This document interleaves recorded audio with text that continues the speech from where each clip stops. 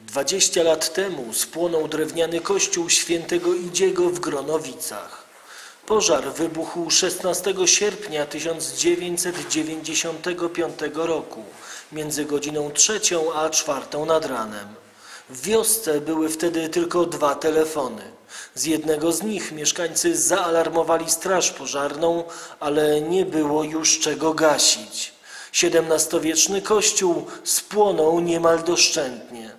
Do dzisiaj nie wiadomo do końca, co było przyczyną pożaru. Prokuratura uznała, że prawdopodobnie przyczyną było zwarcie instalacji elektrycznej, ale mieszkańców Gronowic w ogóle to nie przekonuje. Po mszach świętych prąd w kościele był bowiem wyłączany. Główny wyłącznik znajdował się w salce parafialnej, która się nie spaliła, więc do zwarcia raczej nie mogło dojść.